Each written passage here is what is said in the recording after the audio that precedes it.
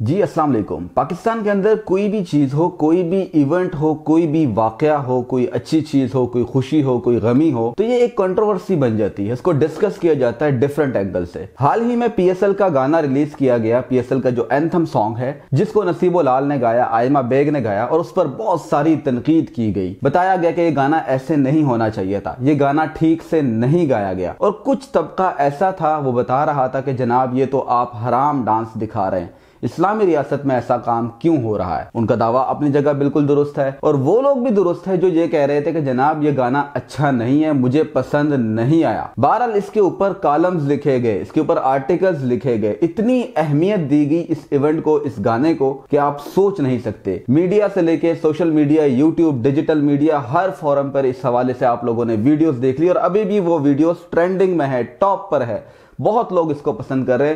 Border کے cross اگر دیکھتے ہیں آپ لوگ بھارت میں، تو وہاں پر بھی اس گانے پر بحث چلتی رہی۔ کچھ لوگوں کو پسند آیا، کچھ لوگوں کو نہیں آیا۔ اور کچھ لوگ کہہ رہے تھے کہ جناب یہ حرام اور حلال والا، وہ والا ٹاپک بھی یہاں پر شروع ہو گیا تھا۔ میں نے اس پر بات کی۔ دیکھے پہلی بات تو یہ کہ میوزک گانا بجانا، یہ تو حرام ہے اسلام میں۔ اس کی قطن اجازت نہیں ہے۔ بالکل نہیں۔ پھر آپ کہتے ہیں کہ جناب گانا تو ہو چکا ہے اور یہ ہو رہا ہے، پاکستان کے اندر سب کچھ چل رہا ہے۔ تو اس پر ڈسکشن ہو جائے۔ میں نے کہا، ٹھیک ہے اچھا گانا تھا یا برا گانا تھا اٹس اوکے حالانکہ میں نے پورا سنا بھی نہیں ہے، جو صاف بات ہے۔ کیونکہ ایسی چیزوں کو اگر جتنا آپ اہمیت دیں گے، اس کو آپ اتنا ہی اچھالنے کی کوشش کریں گے۔ پہلی بات، گانے کی ہم سائڈ پہ رکھ دیتے ہیں۔ دوسری بات پی ایس ایل کا جو ایونٹ ہوا، جس کو ہم کہتے ہیں اوپننگ سیریمنی وہ منعقد کی گئی۔ استنبول میں تھی، غالباً مجھے اوور آل آئیڈیا نہیں ہے، لیکن استنبول میں ہی تھی۔ اور اس حوالے سے اب مختلف فتوے سامنے آنا شروع ہو گئے ہیں۔ اور کہا جا رہا ہے کہ جناب یہ جو کیا گیا انتہائی غلط تھا، انتہائی حرام تھا۔ کچھ لوگ کہہ رہے حلال ڈانس ہے، کچھ کہتے ہیں حرام ڈانس ہے۔ کچھ لوگ تو ایسے جناب بن گئے، مفتی وہ کہہ رہے کہ ایسے ڈانس نہیں ہونا چاہیے تھا، ڈانس کا بھی ایک طریقہ ہوتا ہے۔ یعنی ان کی عقل کو میرا سلام ہے کہ بھائی، ڈانس تو ہے ہی حرام اسلام کے اندر، مجرا کرنا، ناچنا تو ہے ہی حرام اسلام کے اندر۔ پھر آپ کیسے کہہ رہے کہ حلال ڈانس ہونا چاہیے تھا یا ایسا ڈانس نہیں، ویسا ڈانس ہونا چاہیے تھا؟ بہت سے لوگ اس کے خلاف ویڈیوز کر رہے ہیں، لکھ رہے ہیں آرٹیکل لکھ رہے ہیں ٹویٹ کر رہے ہیں سوشل میڈیا پر اپنے جذبات کا اظہار کر رہے ہیں۔ اس میں جو سب سے ٹاپ پر مجھے نظر آئے، یہ انصار عباسی صاحب ہے۔ یہ تصویر ایک مرتبہ ان کی ذرا دیکھ لیجیے۔ یہ بہت سینئر صحافی ہے، تجزیہ کار ہے۔ معیشت پر مالی کرپشن کے اوپر لکھتے ہیں۔ بہت بڑا کریڈٹ ہے ان کے پاس۔ مطلب انہوں نے صحافت میں بڑا نام بنایا ہے۔ اور اس میں کوئی شک نہیں کہ یہ ایک بہت بڑے جرنلسٹ اینالسٹ ہے۔ اسلامی معاملات تو بھی دیکھتے ہیں، ان پر لکھتے بھی ہیں۔ لیکن میں ان سے کچھ سوالات کرنا چاہتا ہوں۔ یہ جناب بہت احتجاج کر رہے ہیں اس اوپننگ سیریمنی میں ہونے والے مجرے پر، جو کہ غلط ہے، حرام ہے اسلام کے اندر۔ ہم اس چیز کی مذمت کرتے نہیں ہونا چاہیے۔ لیکن ایک چیز ہو رہی ہے، اب اس میں کیا کہا جا سکتا ہے؟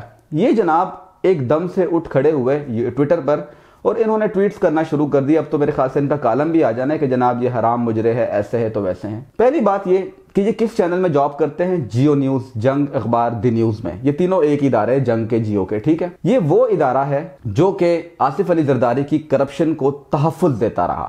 آصف علی زرداری جب پاکستان کے صدر تھے سن دو ہزار آٹھ سے لے کے سن دو ہزار تیرہ تک تب یہ تحفظ دیتا رہا۔ یہ وہ ادارہ ہے پہلے مشرف کے خلاف ہوا، پھر مشرف اور قاف لیگ کی تمام تر کرپشن کو یہ لوگ تحفظ دیتے رہے، ان کو پروٹیکٹ کرتے رہے، ان کا میڈیا سیل بن کر کام کرتا رہا۔ یہ وہ ادارہ ہے، یہ وہی انصار عباسی ہے جو نواز شریف کی چوریوں کو، ان کی کرپشن کو، ان نے جتنے ہیر پیر کی یہاں پر شہباز شریف نے جتنے کی جس طرح سے اس قوم پر ظلم کیے گئے، جس طرح سے ماڈل ٹاؤن کے چودہ لوگوں کو قتل کیا گیا، اس رانا ثناء اللہ کو یہ بندہ ڈیفینڈ کرتا رہا۔ یہ چینل ڈیفینڈ کرتا رہا۔ اس کے علاوہ یہی ہمارے انصار عباسی صاحب، جن کو پتا ہے کہ مولانا فضل الرحمان نے زندگی میں کوئی کاروبار، کوئی جاب کوئی نوکری، کوئی زمینداری نہیں کی۔ ان کے پاس لاکھوں کروڑوں اربوں روپیہ ہے۔ اسلام آباد میں ان کے اربوں کے بنگلے اربوں کی زمینیں ہیں۔ کبھی اس انصار عباسی نے کسی سے نہیں پوچھا، کسی علامہ صاحب سے نہیں پوچھا کہ مولانا فضل الرحمان صاحب، آپ کے پاس یہ دولت، یہ جائیداد، یہ جاگیر، یہ پیسہ کہاں سے آیا؟ آپ مجھے اس چیز کا جواب دے کبھی نہیں پوچھا۔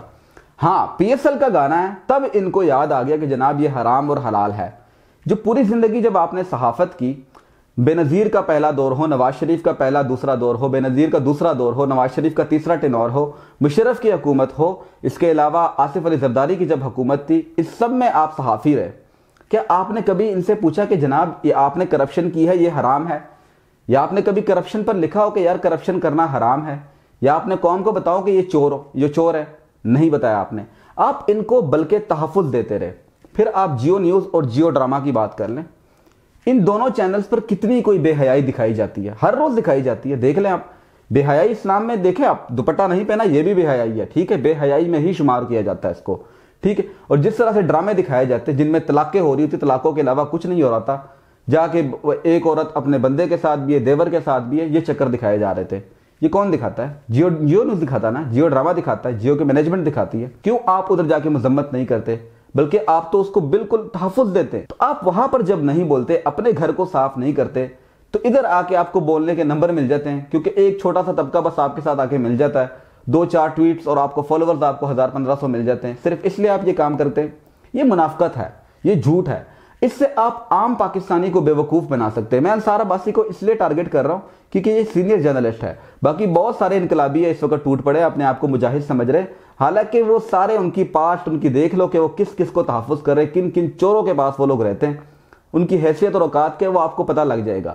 تو انصار عباسی صاحب، آپ عوام کو تو پاگل بنا سکتے ہیں۔ لیکن ہمیں کیسے بنائیں گے؟ ہمیں تو پتہ ہے سارے اپنے، کیونکہ ہم نے تو کام کیا ان چینلز میں۔ کہ کیا کچھ ہوتا ہے۔ ہر روز وہاں پہ جھوٹ بولا جاتا ہے۔ آپ جیو نیوز اور ایئر وائی نیوز دونوں اسکرین اپنے سامنے آن کر لیں۔ آپ کو پتا لگ جائے گا ایک چینل کیا بول رہا ہے، دوسرا کیا بول رہا ہے۔ مطلب جھوٹ بول رہے ہوتے ہیں نا، اصل خبر چھپ جاتی ہے بیچ میں۔ اور اسی اسی چینل سے روزی لیتے ہیں، روٹی کماتے ہیں، رزق کماتے ہیں، تنخواہ لیتے ہیں انصار عباسی صاحب۔ تو تب آپ کیوں وہاں پر احتجاج نہیں کرتے اور آپ ان چینلز کو نہیں چھوڑتے؟ میر شکیل الرحمان صاحب، جو کہ جیو نیوز کے آنر ہے، ان کے اوپر کیسز چل رہے قبضے کے کرپشن کے۔ ان کو گرفتار بھی کیا تھا، نیب نے کچھ عرصہ اپنے پاس رکھا بھی تھا۔ کیوں آپ نے ان کے خلاف آواز نہیں اٹھائی؟ کیا کرپشن کرنا حلال ہے۔ یہ حلال اور حرام کرپشن الگ ہوتی ہے، ایک حلال کرپشن ہو، ایک حرام کرپشن ہو۔ تو جب آپ نے آپ نے کرنی ہے، اسلامی نظام کا نفاذ کرنا ہی ہے، تو اوور آل کرے نا۔ اپنے آپ پر کرے، اپنے ادارے پر کرے، اپنے اخبار کرے، اپنے الفاظ پر کرے، اپنے چینل پر کرے۔ کیوں نہیں کرتے آپ وہاں پر؟ آپ کو صرف یہاں پر یاد آتا ہے۔ پھر نجم سیٹی کے دور میں جب پی ایس ایل کا آغاز کیا گیا تب بھی تو یہی مجرے چل رہے تھے دبئی میں ابو ظبی میں۔ یہی ڈانسیں ہوتی تھی۔ اس سے زیادہ ہو رہا تھا وہاں پر سب کچھ۔ تب آپ کیوں نہیں بولے؟ تب آپ کدھر تھے؟ کیونکہ نجم سیٹی صاحب نواز شریف کے کلوز تھے۔ وہ نواز شریف کے لیے بطور ٹاؤٹ میڈیا میں کئی سال انہوں نے خدمات سر انجام دی۔ اس لیے نجم سیٹی صاحب کو وزیر اعلیٰ، قائم مقام وزیر اعلیٰ بھی بنایا گیا۔ اس کے علاوہ نجم سیٹی کو پی سی بی کا چیئرمین بھی لگایا گیا۔ تب آپ کی زبانوں پر تالے لگ گئے تھے۔ کیونکہ وہ آپ کے اپنے چینل کا بندہ بھی تو تھا۔ آپ کے میر شکیل الرحمان کے لیے کام بھی کرتا رہا۔ کس طرح سے پروپیگنڈا سیل چلاتے رہے؟ تو خدا رہا اس طرح سے قوم کو بے وقوف بنانا چھوڑ چھوڑ دے۔ اور عام عوام سے میری ریکویسٹ ہے کہ جو ان دنوں میں آ کے آپ کو بہت زیادہ نظر آتے ہیں نا کہ جناب میں مجاہد ہوں تو بس مجھ سے بڑا کوئی نہیں ہے۔ یہ سارے دو نمبری جعلی فراڈی ہے۔ ان سے بچیں آپ۔ اور میں اس چیز کے خلاف ہوں۔ میں آپ کو پہلے کلیئر کر دیتا ہوں کر چکا ہوں، دوبارہ کر رہا ہوں کہ بھائی، آپ قرآن پاک کی تلاوت کروائے آپ نعت شریف پڑھوائے محفل کرائے پھر شروع کریں۔ ایسا کبھی نہیں ہوگا، اس سے ریٹنگ نہیں آئے گی۔ اور میڈیا کا اس چیز کو کور کرے گا۔ کبھی بھی نہیں کرے گا یہ میڈیا کیوں؟ اسلامی جماعتوں کو، مذہبی جماعتوں کو کوریج نہیں ملتی۔ اس کی وجہ کیا ہے؟ وجہ یہ ہے کہ ریٹنگ نہیں ہے۔ اور عام عوام اس کے اندر بالکل شامل نہیں ہوتی۔ عام عوام اس میں انٹرسٹ ہی نہیں لیتی۔ آپ ٹویٹر پر جائے آپ کسی بھی سوشل میڈیا فورم پر جائے اور ٹرینڈنگ میں دیکھیں کیا ٹاپک چل رہے ہوتے ہیں۔ آپ کو اسلامی اور مذہبی ٹاپکس نیچے کہیں گھسے میں ملیں گے تیسویں چالیسویں نمبر پر۔ کیونکہ ہم لوگ چاہتے ہی یہی ہے۔ ہم لوگوں کی ڈیمانڈ ہی یہی ہے۔ اور میڈیا پبلک کی ڈیمانڈ کو دیکھتا ہے۔ اس کے مطابق ہی آگے سے کوریج دیتا ہے۔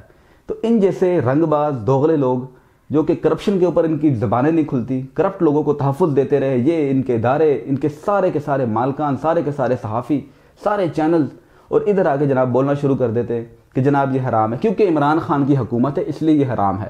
یہ نواز شریف ہوتا، پھر میں دیکھتا انصار عباسی کیسے اس پر تنقید کرتے، کبھی نہیں کرتے۔ اور بہت سارے جو صحافی بول رہے ہیں نا، اس پر بڑے اسلامی بنے ہوئے وہ بھی سارے اس پر خاموش رہتے۔ ہیں اپنا، اپنے گھر والوں کا، اپنے ملک کا بہت خیال رکھے پی ایس ایل کو انجوائے کرے۔